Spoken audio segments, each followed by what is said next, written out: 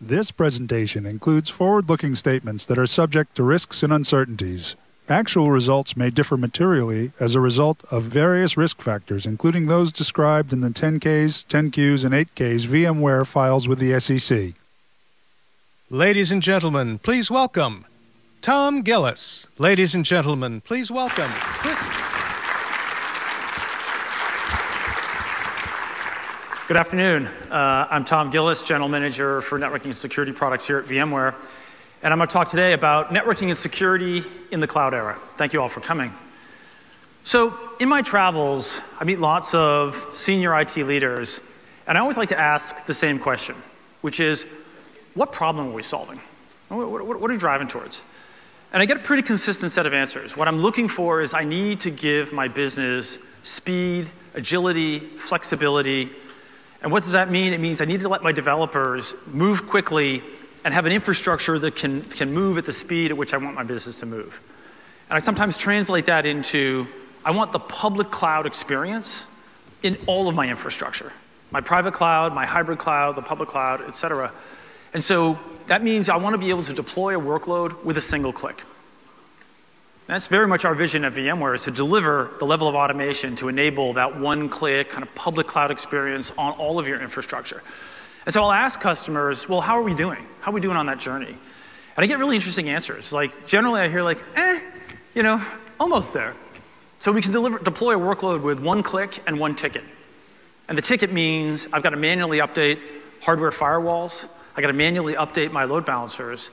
And we all know what a ticket, how that process works, right? The ticket goes to another group, it lands on someone's desk, that person's on vacation, it goes to someone else, it goes through review, provisioning, et cetera. It can take weeks, sometimes even a month, to deploy a workload, even though you're driving for this you know, instantaneous deployment that, uh, that we all need to power the business. And so I'll make the argument that partial automation is an oxymoron. And partial automation is like a partially built bridge. It's really not that useful. Unless, of course, you're fishing, right? But if you're trying to drive a car across it, a partially built bridge is not really a solution. And this is very much our value proposition with NSX, is to provide a complete solution for all of the network functions necessary for a software-defined data center. What are those network functions? Switching, routing, firewall, so stateful, true layer 7 firewall with all the security analytics that go with it. And the last piece of the puzzle is load balancer and a fully featured load balancer with ADC, WAF, uh, and global load balancing capability. And so with our acquisition of Avi Networks, it really rounds out the NSX solution to provide all of the services you need from layer two to layer seven and all of the major network functions to get to that one-click public cloud experience, right? The ability to deploy a workload and it just works. We don't stop there. So more and more applications are being written using containers for cloud native applications. And with NSX, we're extending it into Service Mesh, which is a unique technology that's specific to control at layer seven for container-based applications. We integrate that all into a single platform. And we extend that platform not just from the data center, but all the way out to the edges of the network with our SD-WAN capabilities. And lastly, we, we can wrap this whole virtual solution with advanced analytics and visibility. And this has been a big focus area for development for us over the past year. And so at the uh, talk today, I'm going to introduce some new products in this space, and we're going to show you some demos of things that we can do with visibility and analytics that are really remarkable on this virtualization platform. And so these problems are not necessarily new or not well understood. They are well understood. But there's many companies that will be out there and say, I'm going to try to solve a piece of this problem. And it kind of reminds me of a barbecue. So I bought a new barbecue recently, a couple weeks ago, and I went to Home Depot and, and bought this thing home, and I dumped all the parts out. You know what I got? I got this, right? Anyone bought a barbecue and assembled it? It took me like four hours to put this thing together. It was a complete disaster. Kids are hungry, they're waiting for dinner, you know, dad's screwing around with the burners, it doesn't really work right. And what I really wanted was this. I wanted a barbecue. Like, why didn't I buy an assembled barbecue? So, note to self buy the assembled barbecue at Home Depot. Um, but this is what I mean by the power of an integrated complete solution. We want infrastructure that powers our software, and we don't want to have to piece it together with lots of different solutions that maybe get to partial automation, which is that oxymoron. So the introduction of Avi really rounds out the complete portfolio of network services that are available in NSX. And so to talk a little bit more about that, I'd like to introduce the CEO of Avi, Amit Pandey. Hey. Amit, thanks for joining me. Thank you. I'll give you this. All right. What do you got in your hand there? That's Stress ball? stress ball. so, this is the culprit. This is the heavyweight device that broke the edge of Tom's bridge. No, I mean, this is what's preventing the building of that bridge. And, you know, the amazing thing is that load balancers haven't fundamentally changed since 1999, 2000, right? The rest of the stack has completely changed, but load balancers haven't. And it's um, creating all kinds of issues for our customers who are trying to automate and build out flexible infrastructures. You know, they, they do it all and they come to the last mile and suddenly, boom, stop. And, the, uh, and, you know, Frank, I shouldn't say it hasn't changed. The only thing that's changed is become way more expensive and way, way, way bigger, right? So um, let me tell you a story. About three years ago, one of the largest payment processors on the planet ran into an issue during their Thanksgiving shopping season. And it had to do with the load balancer. They'd spent hundreds of millions on a very, very flexible data center. And, uh, but when they hit a connection storm, suddenly the load balancer ran out of capacity. And uh, of course, you know, when the Inquisition happened a, a week or so later, uh, the CIO said, well, you know, what's going on? What, why couldn't we use all of that great fungible elastic capacity that we had in our data center and our clouds to spill over and manage the load balancing? And the answer was, well, you know, that fungible capacity was for everything else, not the load balancer. The load balancer was a big hardware, you know, a farm of hardware devices, and they peaked out. So that's when they contacted us, and we worked with them to build an architecture which looks like this. So it's, it's, you know, for people who are familiar with NSX, it should be extremely familiar. It's a separate control plane and a data plane. Uh, the, the little orange devices you see are basically, we call them service engines. They're basically endpoints, they're load balancers. The, the brain in the middle is what controls them all and it enables you to get multi-cloud consistency. So this payment processor had a hybrid environment. They had data centers, they had uh, Google Cloud and other clouds.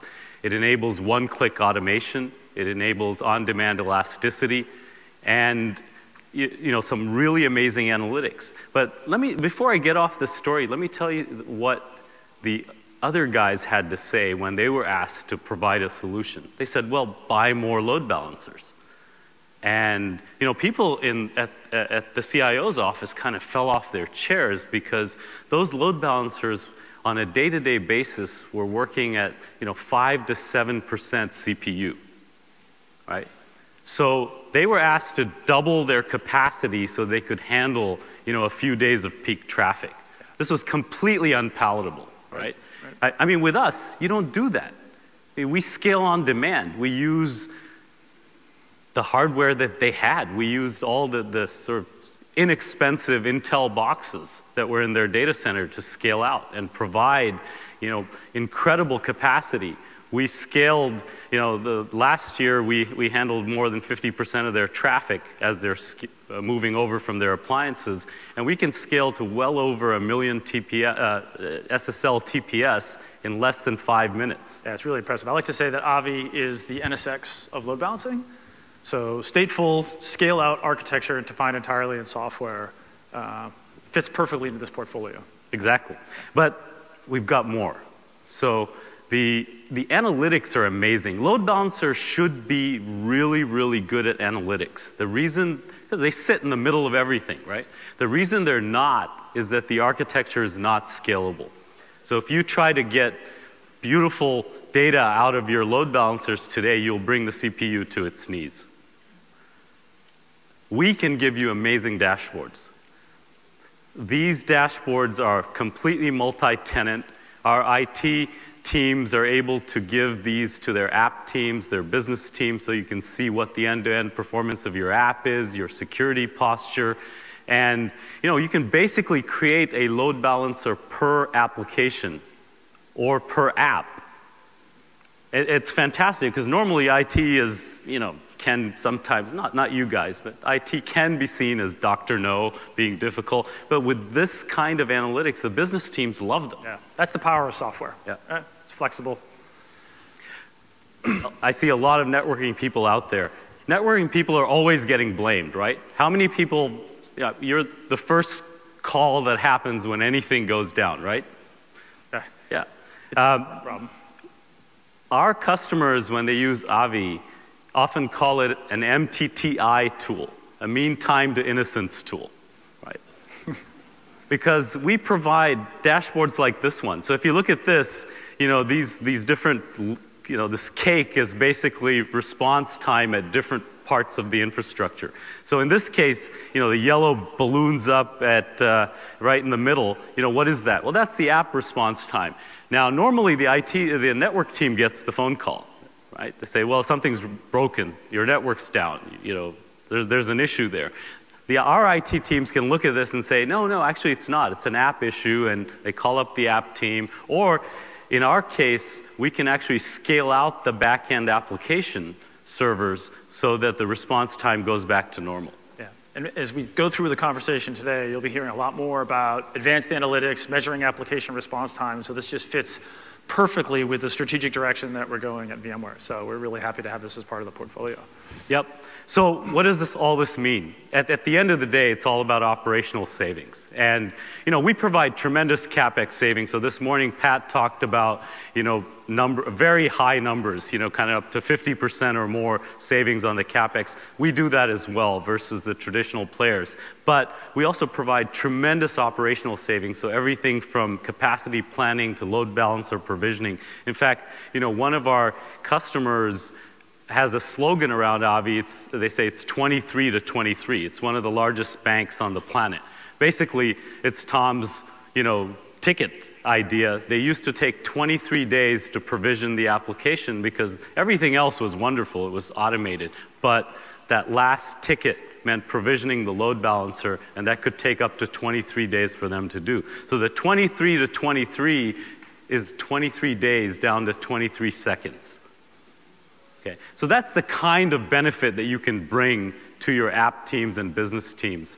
And, you know, frankly, it's, it's way more than operational savings. I mean, I, I, our champions in these organizations have seen their careers blossom. I mean, they've literally become people who are, you know, transformative. Yeah, they're yeah. transformative. They're yeah. desired by the app teams yeah. and, and business teams. And, uh, you know, I, I think uh, it's a fantastic place to be. So, you know, I would urge you guys, a, a, quick plug here, Tom, please go to our booth, speak to our guys, you know, do a hands-on demo for yourself. You can play around with this stuff. It's extremely intuitive. Yep. And uh, even if you've never used a load balancer before. Yeah.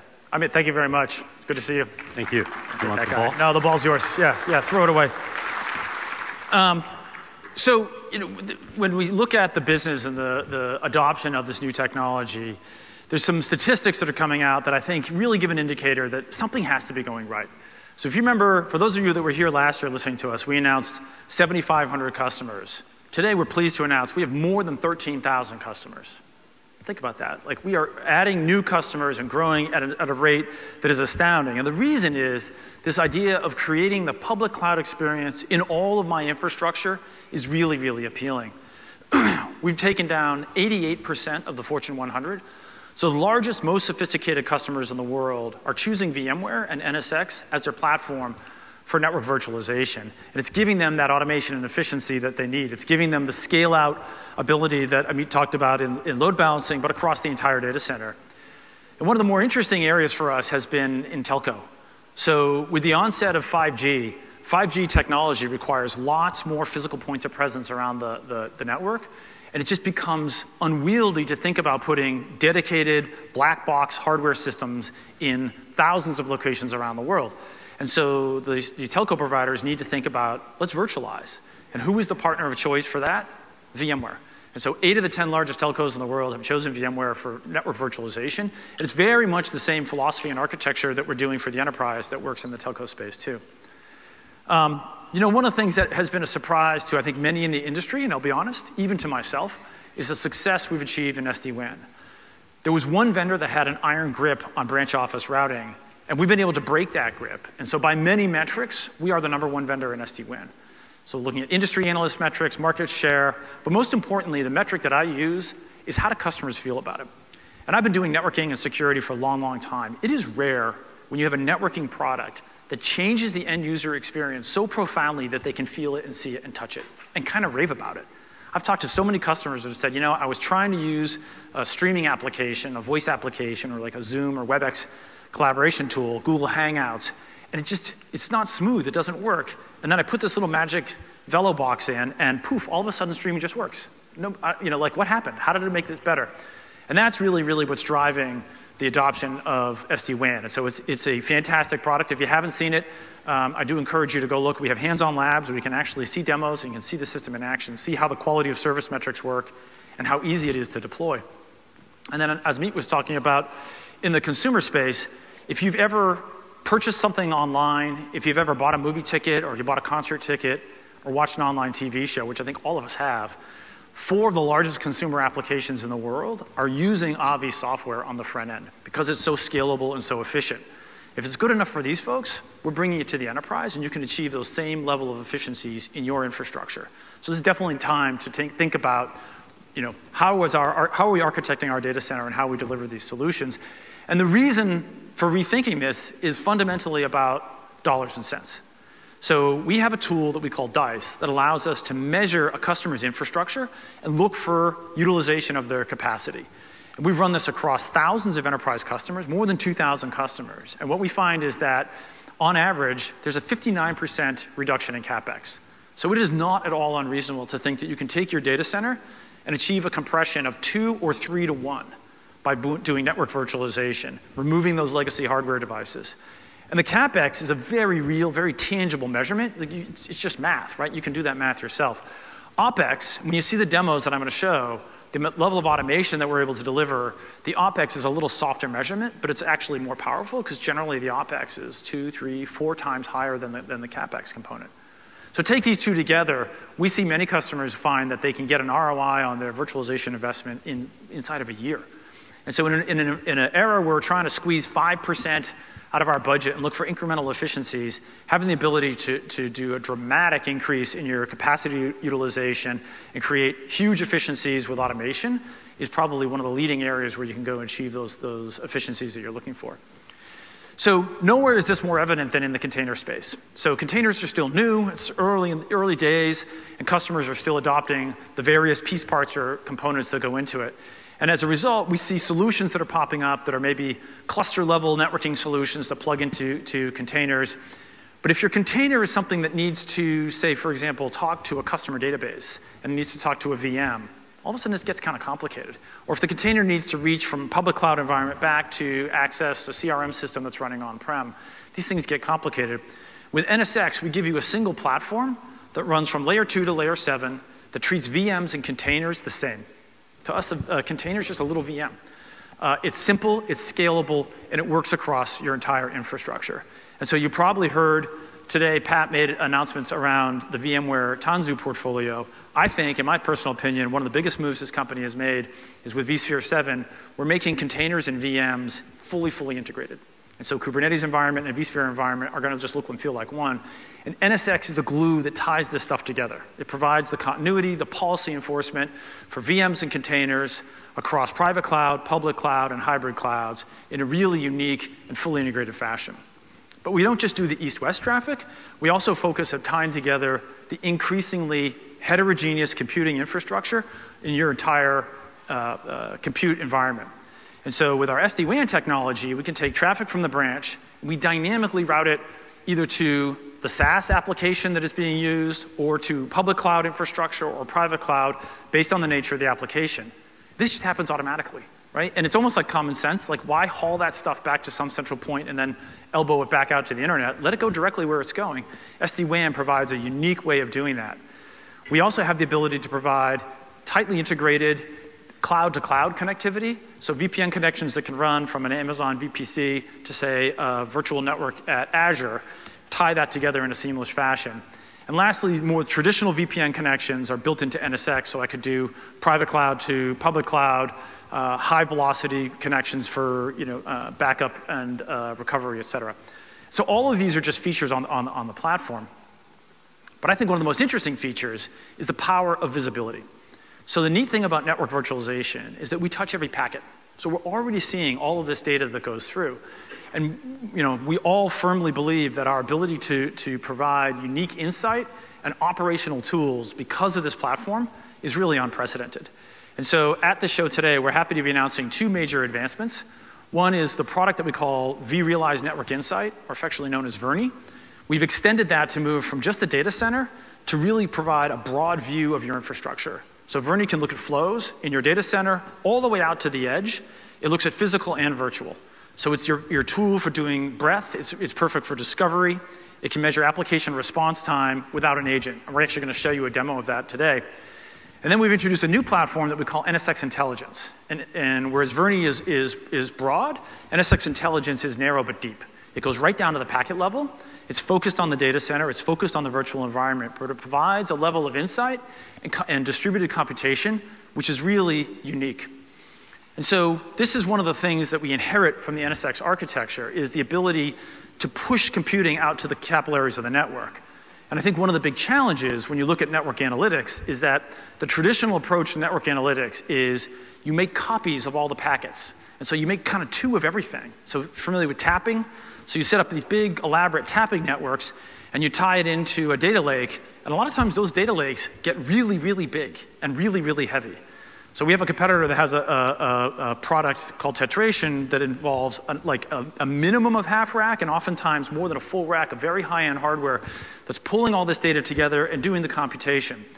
With NSX Intelligence, instead of moving the packets to the analytics, we move the analytics to the packets. So we push this out into distributed architecture, and we take advantage of the thousands of general purpose CPUs that are running the application to do the processing and then deliver this as an integrated solution so it just works. You don't need racks and racks of dedicated hardware. So there's three modules that we will be introducing on NSX Intelligence. The first is shipping now. It's our policy formulation and security enforcement, and we're going to show demos of that. And then in the near future, we'll be introducing an advanced security analytics module that's going to be looking at things like stolen credential attacks, understanding the context of the network, and network analytics that's going to be more focused around availability, uptime, troubleshooting, et cetera. These will be three different modules all leveraging the same distributed platform. And here's kind of a cool way of seeing how this works in action. This graphic was based on experience that I've had going to visit customer data centers, and I'm sure this will be very familiar to you.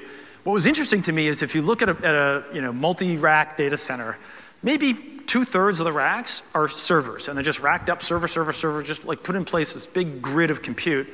But almost a third of the data center is this chunk of other stuff, right? And what is that other stuff? Well, it's hardware load balancers, it's hardware firewalls, security boxes, advanced networking devices, and then all that analytics.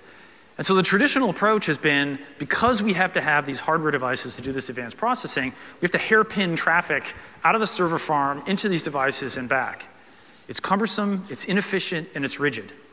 So this is the idea behind NSX is, huh, what if we could define those services in software? And instead of running them in a big lump of proprietary hardware, we could push it out into the general purpose compute. Wouldn't that be interesting? And this is what we do with Avi, right? We put the load balancing where the load is, as opposed to where these big hardware ASICs are. Same thing with firewalls. For east-west traffic, pulling traffic into a dedicated hardware device is very expensive. Why not push it out to where the workload is? And we push it out in a very intelligent way we only run the rules, the firewall rules necessary for the workload that we're sitting under. So it can be very, very computationally efficient. With NSX Intelligence, we're taking on that big rack of hardware that we call analytics, and again, pushing it out to the capillaries of the network. Look at the space that this opens up in the data center. Think about the power, the cooling, the time, the flexibility that you get with a software-defined architecture. So my pledge to you is that I'm going to keep working my way up that rack and replace the security analytics boxes, the networking devices. The more we look at it, we think, gosh, there's an amazing opportunity to replace these dedicated proprietary hardware systems. And the reason we can do this is because we hit an interesting inflection point. So this graph shows general purpose processors over time. And it was about, you know, arguably two or three years ago, maybe more, maybe four years ago, that a general purpose Intel processor using technology called DPDK could allow us to run at line rate without burning the entire CPU. And so four or five years ago, you, you needed dedicated hardware because the CPU couldn't keep up with the, with the speed of traffic if you're going to do network analytics, security detection, et cetera. But when you look at where we are today and where we're going forward, general purpose processors with distributed software are far more powerful than the traditional hardware based approach. And this is why it's time to rethink how we do these network functions, embrace a software architecture that can create speed, efficiency, and advanced functionality. And so, you know, at VMware, we're a very green company. We want to encourage you to go rethink how you build your data center, rethink, remove, and recycle. Because those hardware load balancers are expensive, and I think they're slightly toxic. So please dispose of them responsibly. Uh, it's kind of a joke. I don't know if they're toxic or not, but, uh, but anyway, we do have some load balancer recycling bins that we're putting outside, uh, so if you want to dispose of them, we'll take good care of them for you. Okay, so let's talk about what's new. Uh, here's the news. We announced today uh, the momentum we've had with our SD-WAN product. More than 150,000 branches deployed. That is a large number, and we're growing at an, at an enormous rate. We've been doubling year over year. So just a tremendous market adoption of our SD-WAN capability. Um, we introduced NSX-T 2.5. 2.5 gives us new performance capability, uh, FIPS compliance, and a few other compliance certifications. And we continue to focus on simplifying operations, higher level APIs, better dashboards, more automation. Why?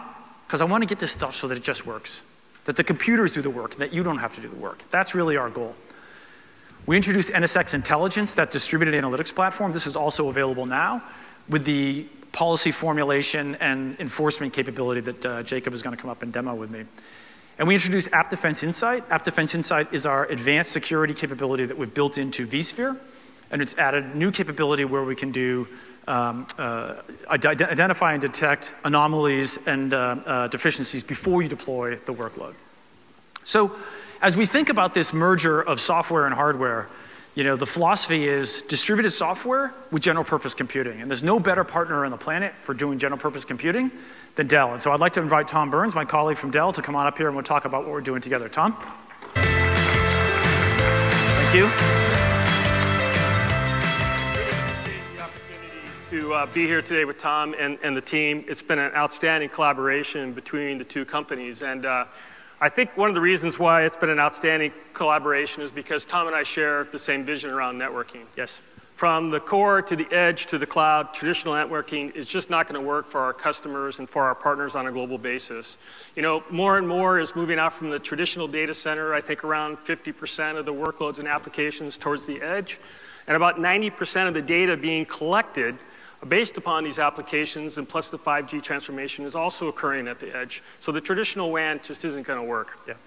We've been innovating in networking. Yes. You, know, you with NSX, microsegmentation, virtualization, Dell EMC around open networking, the first vendor to actually support disaggregation of hardware and software. But we haven't stopped there.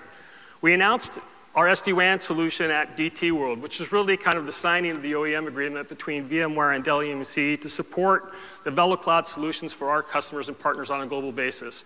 The first of today's two announcements is I'm happy to announce the shipping of that product on a global basis. Tom, we know what a global basis for Dell means, don't you? Yes, it does. So when you think about SD-WAN and branch offices, you can't be in half the locations. You got to be in all the locations. And there's no better partner than Dell, right? More than 130 countries around the world, we're deployed. That's right. We, yeah. we happen to make a little hardware, yeah. and we can support a lot of customers in a lot of places. So yeah. we're announcing the worldwide support for the Dell EMC SD-WAN solutions. This is really bringing together the best of VMware software with the best of Dell EMC hardware and creating an appliance-like experience for our customers.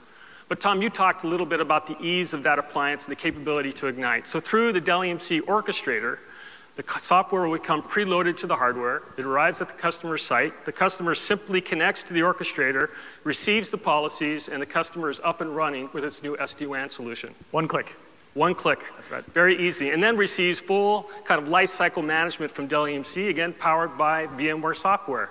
And lastly, we want to choose the right path. So this dynamic you know, path optimization of really not using just the enterprise's capabilities around connectivity, but over thousands of gateways that VMware has deployed in the cloud on a worldwide basis, picking the best path for that voice, that data, that WebEx experience that you talked about. Yes, outstanding solutions. And I think the power of Dell EMC being able to support this now worldwide, will see even more expansion of that number one position in SD-WAN. I think the last time VMware and Dell EMC put software on x86 kind of commodity hardware. Yeah. It was something called VxRail. Did we do okay with VxRail? Yeah. I think we did, yeah. We found some customers. One. We found some customers. Yeah. So that's the first, and this actually, they said, came out at DT World, but now we're shipping on a global basis. The second, which you are the first to hear, and actually the press release doesn't come out, moves from edge into the core. And that's around modernizing the core with the PowerSwitch smart fabric director coming from Dell EMC, but co-developed between VMware and Dell EMC. This provides a solution which tightly integrates the underlay with the overlay. Tom, you talked about all that wonderful analytics that NSX can provide, but it still needs to connect to a fabric. The electrons need to move. The right. electrons need to move, and we've got a lot of great work that's gone on between the two companies really simplifying that. Let's just say, in a traditional networking environment, Tom, how long do you think it would take to say, let's say four to six leaf switches with two spine switches? How long would it take? Well, I'm pretty good in the CLI, so yeah. that, might, that, might, take me two days. Probably about yeah. two days. Yeah, it's about 120 lines of CLI per switch. Yep. So it'd take you a little bit of time. Yeah. Now with the outstanding contributions of Dell EMC and VMware and the Smart Fabric Director, how much time do you think it connects now uh, this fabric, same fabric, all the way up into NSX-T with full visibility into vCenter. One click? One click, yeah. Less than two minutes. Yeah. Outstanding solution brought by the two companies, but we're not standing still. That area of analyzing and understanding what the network is doing. The telemetry that's going to come from it is going to allow us a long path of roadmap for the Smart Fabric Director between the collaboration of the two companies. Really eliminating the complexity of proprietary networking and making it easier for customers to automate, transform, and manage the network as they describe and the connectivity that they need. And in honor of Dell EMC Open Networking, the future also holds that this particular fabric director will be agnostic to the NOS. It will support not just OS 10, but other third-party softwares, including SONiC, the Microsoft Azure software that's been contributed to OCP, and which Dell EMC is a major contributor to. So we look forward to not just the solutions around SD-WAN, supporting the edge, but also in the core around the Smart Fabric Director, but also the future, continuing to drive disruption and innovation between Dell EMC and VMware. Thanks Tom, a lot, Tom. Tom I really thanks appreciate for joining. it. Yeah. Good stuff. Thank you. So you can hear us talk about this capability, but I think it's always more powerful to hear it in the voice of the customer. And one of the more interesting customers that I encountered in my travels was Pirelli. So I do a lot of bicycle racing, and I only ride on Pirelli tires. And I really, really, really care about those tires. Uh, and so it was interesting for me to meet the folks from Pirelli. For those that aren't familiar with Pirelli, they are a tire manufacturer, but they sell more than just tires. They sell, in my view, they sell excitement. And so let me roll a video. We'll show a little bit about uh, what Pirelli does.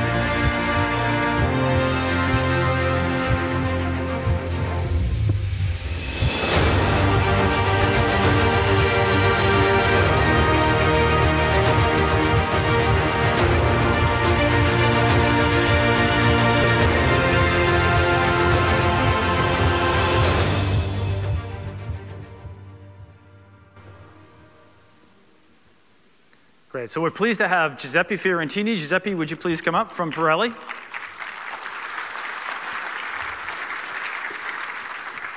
Giuseppe, thank you for joining. Thank you.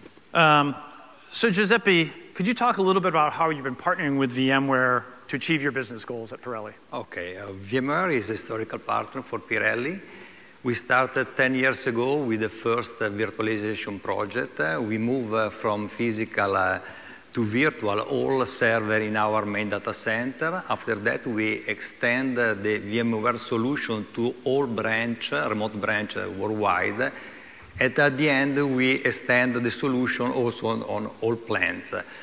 With VMware and professional services is supporting Pirelli on a digital transformation project by supplying uh, this Sun operating model uh, for the business uh, critical ap application, uh, design, uh, network function virtualization, microsegmentation, and service insertion, and fi finally design also the, the, the new SD-WAN technology for the next one that Pirelli are, are demanding. You, you have branches all over the world. You have factories, you have sales offices, you have the yeah. racetracks. How has VMware's SD-WAN transformed your business goals? Okay, with, uh, with SD-WAN, we had uh, increased, uh, we have increased the flexibility. Currently, we are, uh, we are telco agnostic. On the remote branch, we can uh, combine several, uh, several WAN access technology, MPLS, broadband, and, uh, and mobile. We increase uh, the agility. We have uh, decreased the time to delivery for the new office, when, and we also increase the efficiency because with zero-touch provisioning yes. and the templatization, we have reduced remember, the Remember the one click I talked about? Pushing the boxes out with one click, right? Yeah. We have also reduced the MPLS cost yeah. because uh, the footprint of MPLS uh, is decreased. Yeah. We have also, um, also enabled the local breakout on each remote country. Yes. This, is, this is very important. This means that uh, the, we have improved also the user experience because the distance between the user and the cloud is very decreased. So you've had a very successful deployment of the SD-WAN technology out to the branches. Can you tell us how are you're using VMware NSX uh, in your data center and cloud? Uh, okay, um, we have finished, we finished a pilot uh, with the NSX-T, with the last release, with the service insertion. The result was very good, and now we have a solution that can replace uh, the network, uh, the network data center that we have in the plant that are legacy and hardware based. So we want to replace this with a full virtual stack based on software solution. Software replacing hardware. Recurring yeah. theme here. So tell us a little bit about your experience with the SD-WAN solution. With SD-WAN? Yes. Okay, the, the SD-WAN uh, deployment is going very well. We have, um, we have uh, deployed 26 sites uh, on totally 52. Our deployment uh, is, uh, is very soft. Uh, one site for, for a week in order to better control pre and post go live and region by region because we have to renegotiate the WAN contract at the regional level. Currently, we have, uh, move, uh, we have uh, delivered all uh, European and Asia Pacific country mm -hmm. region, and at the end of this uh, year, we will deploy South America and Central America, and next year, North America. Yeah. Global coverage with SD-WAN. Giuseppe, you traveled far to come and join us. I thank you very much for that, and thank you for your support.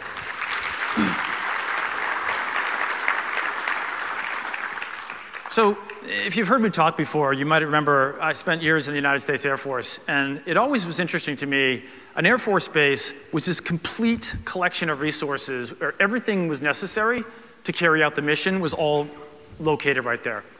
But the problem you have with an Air Force base is really hard to move, right? They're like wired onto the ground. And so, you know, roughly 100 years ago, someone came up with the idea about, huh, what if we could lift this thing up, this complete solution, put it on a ship, and then we could take it, we could put it anywhere we want. That's the modern aircraft carrier. And so when I think about NSX, there's a similar metaphor there. With NSX, we have extended NSX from beyond just an ESX environment to work in every environment. So NSX will run in a bare metal environment. It'll run obviously in ESX. It runs in OpenStack KVM. It'll run in public cloud environments. And it acts as a platform that can stitch together this increasingly heterogeneous computing infrastructure that makes up our data center. And so this is what we call the virtual cloud network. And what we've been focusing on over the past year is adding the visibility and analytics on top of this. And so Vernie, as I said, provides the breadth, and NSX Intelligence provides the deep analytics. And so now I'm going to show you a demonstration of the virtual cloud network in action. So Jacob, I'm going to ask Jacob Rapp to come up and join me uh, and walk you through how we can actually realize the vision behind the virtual cloud network. Thanks, for having me. Great. So uh, you talked earlier uh, about this kind of one-click experience or, or automating uh, all of these functions. But what I've heard is automation can be really hard. You almost need um, a really an army of smart people with a bunch of stickers all over their laptops in order to really figure out how to do this. The guy with the penguin tattoo, right? Uh, yeah. Yeah, exactly. So to get started with automation, you have a bunch of API calls. Right. Right. And each of those API calls actually then just map to one of those clicks you have to do in the user interface. But it gets a little harder from there. Like each API call actually has a UUID that maps to it, and you got to kind of understand that UUID and plug into the next API call. And you almost need another sticker on your laptop to understand that thing. So once you get um, basically 10, 15, 20 different API calls done, you got a network. But if any one of those calls breaks in the middle, then the whole thing's messed up. Yeah. So with, with NSX, what we did is we traded all those API calls in for one API call and one file. We call it a declarative API. So basically that one file contains all your intent. Yeah. And once you define your intent in kind of a simple human readable language, you can then send that intent to NSX and they'll translate into desired state. So let's switch over to the demo and see. Infrastructure as code. Yeah, infrastructure as code, absolutely. Yes. Yeah. So um, here in the demo, um, we have two VMs that need to communicate. So the first step, we need a, a gateway. All right, so let's spin up our gateway. We can click and, click and add our gateway. That's basically tier one. Right, we're using JSON here. This is our my, uh, markup language we're using for the demo. So let's click and add our gateway. Next up, now that we have our gateway, we need segments for the VMs to communicate with each other. Simple, okay, tier one catalog uh, database, and uh, we have our, our application as well, segments. We add those to our, connect to our gateway. Yep. And from there, um, policy is much more than just networking, right? We also have security that we need to deal with. We need to lock down those communication flows. We need to microsegment them with our distributed firewall. So here we just say our source group app, destination group database, uh, service MySQL. This is our layer 7 engine. We can actually identify the service that those, those two VMs are communicating. So, so NSX understands, hey, this is a database. It should only be talking SQL. Don't allow things that are not SQL. Yeah, absolutely. Boom, one line of code. Done. Yeah, let's, let's throw that into our JSON file as well. Yes. So let's click and, and move into our JSON file. And from there, actually, let's go switch over to our command prompt. And this, this is our command to actually go push this file, but it almost looks like you need maybe a sticker to understand this. But in actuality, all we're doing is just patching our infrastructure with this JSON file. So let's go ahead and, and hit enter and uh, run this command. So here we're actually sending it directly to the NSX server, and they're translating it into the desired state uh, within are. You're, you're, showing in the demo fingers on a keyboard, but the idea here is that this would be built into your CI/CD pipeline, yeah. and it just works. Yeah, absolutely. You would go from that one click down to basically zero clicks. Zero clicks. Yeah, yeah. so even better than one click. Congratulations. All right, thanks. All right, so let's actually hop over to the UI now and see what actually this looks like in NSX. So this is actually our new um, simplified user interface. Really one dashboard for all of networking and security. So let's actually click over into our networking tab. Here we can see all of our networking constructs, and let's dive into that tier one gateway that we just created. Here we see our tier one catalog, hop over to segments, and we can see our two segments that we created. And again, you don't really need to even understand that much about networking to understand segments and gateways and this communication pattern. We're trying to bring that cloud-like experience into, into our on-prem environment. Yep. So let's hop over to security. From here, we can look at our distributed firewall, and we can easily view our app policy and our database policy to lock down that app. So it's really pretty simple and straightforward and uh, getting down from, I guess, that many clicks and weeks down to nothing, zero. Yeah. Awesome. So let's, let's switch over to our another, uh, the next scenario. So here we have our app deployed, but no one's infrastructure actually looks like this, right? Not, there's not one single app, nor there's a bunch of new apps that you've already automated. Yeah, that's have, the trick. How do we deal with today and legacy infrastructure, right? Yeah, absolutely. Yeah. So let's go switch over to NSX Intelligence. Ooh. So yeah, here dark mode, right? Dark We're looking previewing our, our dark mode. This yes. is a I have a Mac laptop. I love the dark mode, and honestly, this demo looks really cool in dark mode. Um, so in the same like in, the, in, the, same user interface, uh, we can click over to plan and troubleshoot to see a preview of what's possible uh, with NSX intelligence. So this this chart may seem pretty crazy to begin with on first, on first view, but this really shows the power of the distributed analytic and data platform that we've built. It's always on and it's everywhere. And honestly, our, most apps aren't like this nice, pretty web app database application that you see in demos. This is what apps look well, this is what we want. Right? We want our applications to be interconnected, to be smart, to understand the customer, right? You want this level of integration. Yeah, but it can create a lot of complicated infrastructure. Yeah, absolutely. So um, let's actually drill in on a particular application. So if we click on all, we can sort by uh, uh this tire shop we opened, Tom's Tires. We just had Pirelli up on stage. So uh, we love Pirelli, so we want to start selling some Pirelli tires. So let's hop over to our tire shop. So from here, we can actually see all of the infrastructure, right? From the public cloud front end, in through a middle tier of containers, and all the way to the VMs, and they're running in databases and some shared services in, in bare metal. But from here, I can actually hover, let's hover over one of those links. So this is a, a link of unprotected traffic. So we're going to want to deal with this later because this is hitting our basically our default any any role at the very end, right. and we want to make sure that we're, we're segmenting. Right. These are like unlocked cars. Right? Absolutely. Yeah. yeah. So uh, let's uh, move over onto our protected flows as well. So if we look at our protected flows, this is actually great for audit and compliance, right? We look back in time and make sure the policies that we put in place were actually effective. But from here, we can drill in even further. You talked about um, deep visibility. So what does that mean? Let's click off of this and go into one of our catalog, the catalog database communication. So if we click off of that and then let's just click in, there we go. Cool. So we clicked into our catalog database information. So This is like the zoomed in view of yeah. some of the tiers communicating with each other. So right. Single pane of glass from all the way out at the data center down to the individual VMs and containers that are running, right? Yeah, absolutely. So let's click in on, and drill in on one of those uh, VMs. So from here, I don't just see all of like the plain network traffic you would normally see. I actually see all the services too, like RESP is the Redis protocol and DNS and NTP this is due to our, our layer 7 engine. Yeah. But spoiler alert, this is interesting, right? So It's a bunch of data on a slide, but what you can see here is the context yes. that we have with our virtualization platform, where we can look at the flows, we can look at the processes, we can look at the users, and we understand all of that context. We can do some amazing things in security. Yeah, absolutely. So yeah, I mean, we see the user processes, user the user that spawned the process, um, all the way to the destination process. Really great visibility. So let's let's exit out of the screen. so this may seem like a lot of information to take in, um, it's great for visibility, but how is this going to make my policy definition any easier? Right. So with this, we've actually created a very simple recommendation wizard. So let's go ahead and click on our little magic wand icon up there. And from here, we can actually uh, run a uh, recommendation, but we can look at, today we're looking at the traffic today. Maybe there's new traffic today I want to look at, but I can go back in time as much as 30 days. So let's go ahead and start our discovery.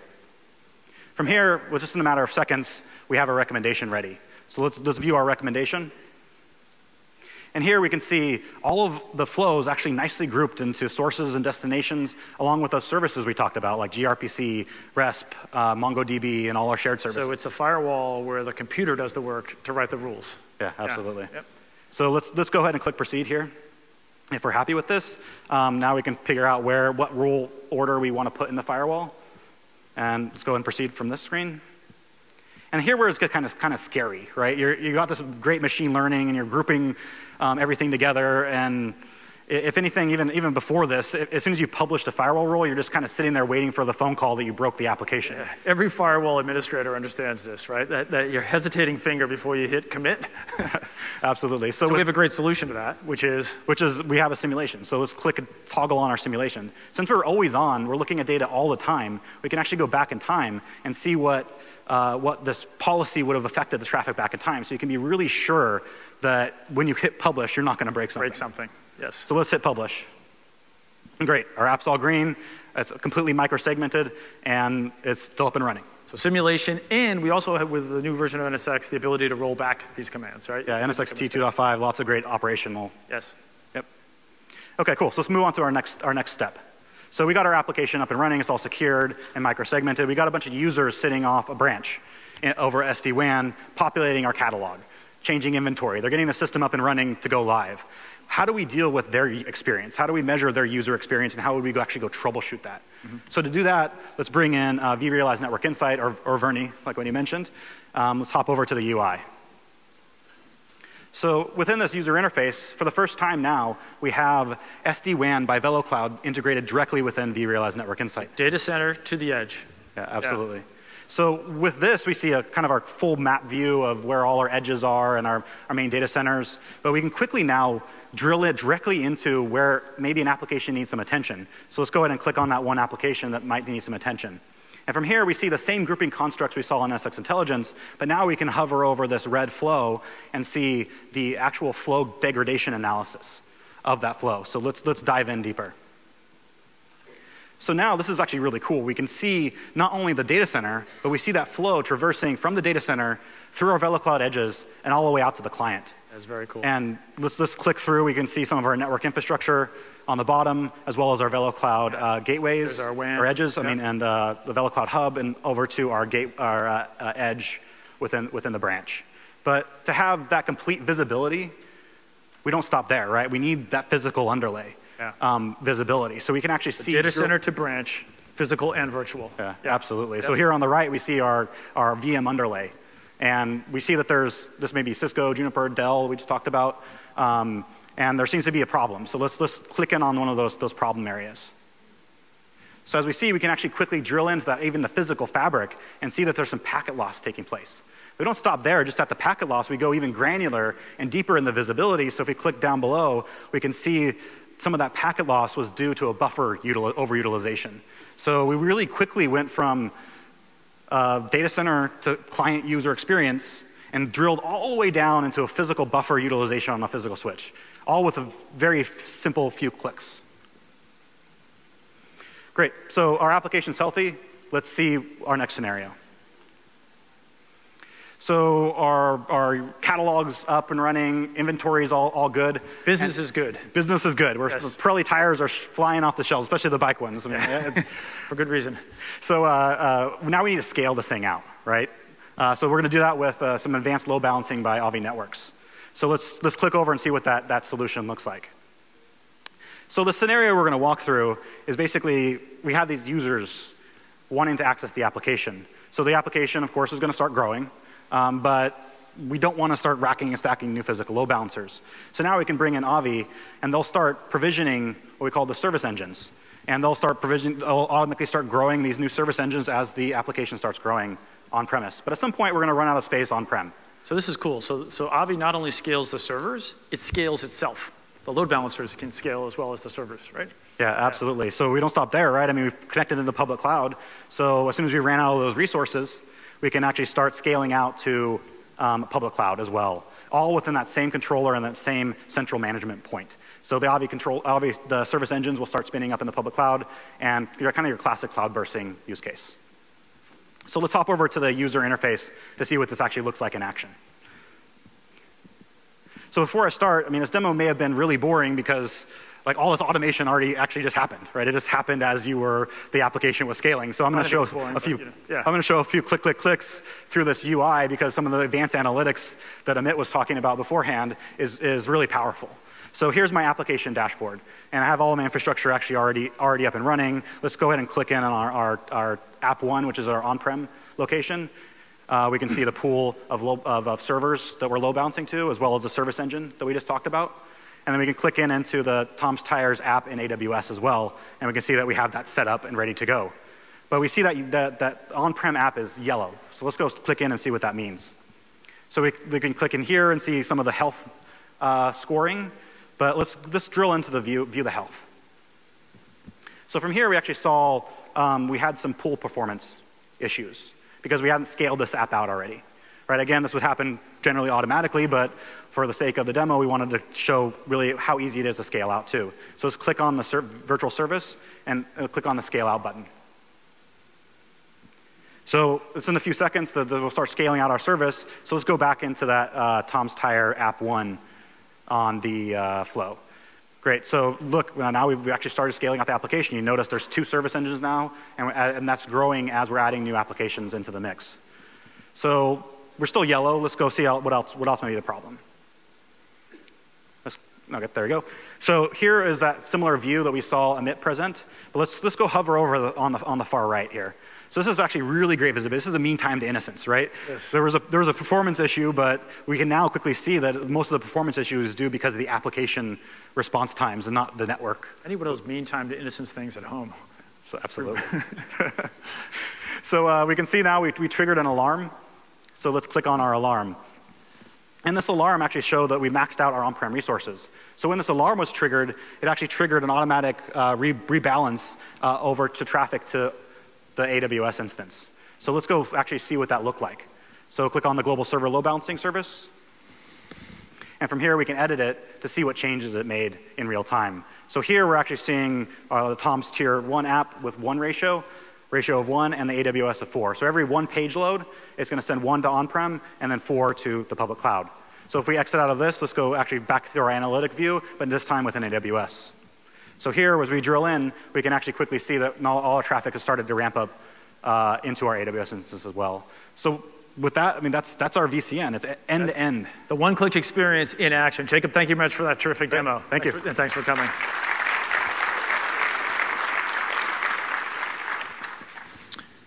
Okay, so what have we talked about today? We talked about the, the necessity to have a complete solution, something that works from layer two to layer seven that has all the major functions of the data center to give you that public cloud experience on-prem. And I feel more confident than ever saying we'd be able to deliver that with NSX. We talked about the maturity of software, scale out software that has the functionality necessary to replace those dedicated bespoke pieces of hardware and fundamentally change how we think about how we manage and provision the data center. And lastly, we talked, and hopefully you saw, the power of advanced analytics that make this stuff super easy to use. So it's a very powerful combination of things. But before I leave you, I want to just share one more thing.